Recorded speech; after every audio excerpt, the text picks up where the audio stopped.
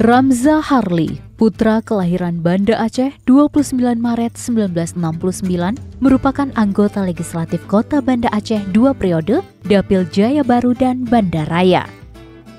Putra Banda Aceh ini telah terasah dalam bidang organisasi, profesi, dan politik. Pernah menjabat Wakil Ketua Real Estate Indonesia atau REI dari tahun 2000 hingga 2004. Ramza juga tercatat sebagai Direktur Utama PT Harko Abadi dan banyak perusahaan lainnya yang didirikannya di bidang real estate, supplier, dan konstruksi. Tahun 2001, Ramza ikut mendirikan Asosiasi Kontraktor Aceh atau AKA dan ia dipercayakan sebagai sekretaris. Tsunami 2004 turut menghancurkan tangga-tangga Ramza namun ia tetap bangkit dan mulai merintis bisnis dan aktif dalam bidang konstruksi. Tahun 2012, Ramza bergabung dengan Partai Gerakan Indonesia Raya atau Gerindra dan pada tahun 2014 ia terpilih menjadi anggota legislatif Kota Banda Aceh tahun 2019, Ramza kembali terpilih menjadi anggota legislatif dengan peroleh suara 2.665 sekaligus suara tertinggi di antara para incumbent di DPRK Banda Aceh.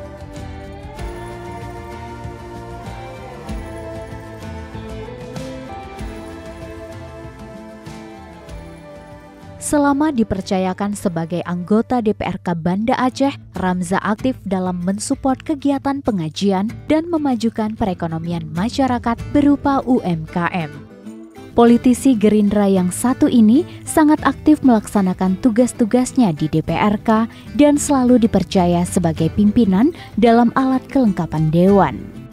Pada periode pertamanya, menjabat sebagai Sekretaris Komisi C dan Wakil Ketua Komisi D. Kemudian periode kedua sebagai anggota DPRK menjabat sebagai Sekretaris Komisi 2 dan saat ini mendapat kepercayaan sebagai Ketua Komisi 1 DPRK Banda Aceh. Jabatan lainnya dalam alat kelengkapan Dewan, Ramza sering dipercaya sebagai Ketua Pansus, yaitu Ketua Pansus Pemilihan Wakil Wali Kota, Ketua Pansus Perumda Air Minum Tirta Daroy, Ketua Pansus Penyelesaian Hutang, dan saat ini sedang menjalankan tugasnya sebagai Ketua Pansus Pengawasan Pengelolaan Keuangan Daerah. Kepedulian terhadap masyarakat menjadikan Ramza dipercayakan menjadi Ketua DPC Gerindra Banda Aceh oleh Fadlullah. Kepercayaan ini dipergunakan seutuhnya dengan jiwa serta waktunya untuk membesarkan Partai Gerindra, yakni partai yang didirikan oleh Prabowo Subianto. Eh, saya ikut uh, caleg pertama di tahun 2014. Waktu itu memang suara saya tidak terlalu besar karena itu baru terjun ke dunia politik. Alhamdulillah saya terpilih di 2014.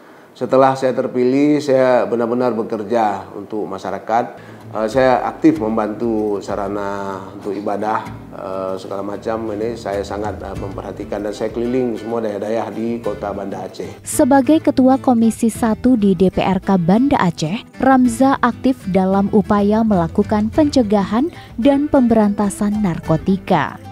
Ia berhasil membuat kanun inisiatif yang diajukan oleh Dewan tentang pencegahan dan pemberantasan penyalahgunaan narkotika dan prekursor narkotika. Mengajukan kanun inisiatif, ini merupakan kanun inisiatif dari Komisi 1 DPRK uh, Kota Banda Aceh.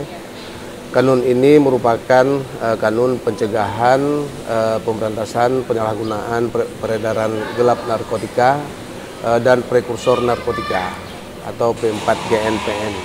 Kita mengharapkan peranan dari pemerintah uh, dalam membantu pencegahan dan pemberantasan peredaran gelap uh, narkotika ini.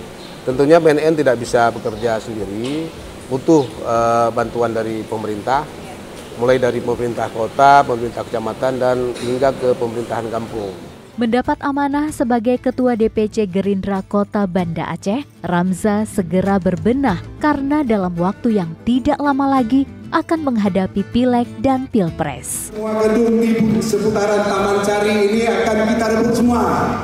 Siap kader-kader semua kita rebut. Kita menangkan Partai Gerindra dan terutama kita menangkan Pak Prabowo sebagai presiden. kita harus kuasai Banda Aceh di pemilu Siap semuanya ya? Bravo! Bravo! Bravo! Dengan dibekali pengalaman di berbagai organisasi, Ramza segera memperkuat kembali seluruh struktur partai mulai dari PAC dan membentuk seluruh pengurus ranting hingga ke seluruh gampung-gampung di kota Banda Aceh. Di bawah kepemimpinannya, DPC Gerindra Kota Banda Aceh terus melakukan konsolidasi struktur partai dalam menghadapi pileg dan pilpres. Ramza melakukan konsentrasi dalam mempersiapkan para saksi-saksi yang akan ditempatkan di seluruh TPS-TPS yang tersebar di seluruh kota Banda Aceh. Ia juga terus melakukan pendidikan politik kepada para kader-kader partai agar tertanam ideologi partai sehingga semua kader Gerindra siap untuk memenangkan Prabowo Subianto sebagai presiden dan Partai Gerindra sebagai pemenang pemilu di kota Banda Aceh. Uh, saya mengimbau untuk anak-anak muda, marilah kita bergabung uh, ke partai-partai politik supaya lebih mudah untuk menyampaikan aspirasinya jadi kalau kita hanya cuek saja, uh, hanya bisa marah-marah uh, dengan ulah para oknum-oknum politisi, ini tidak ada membawa perubahan apa-apa.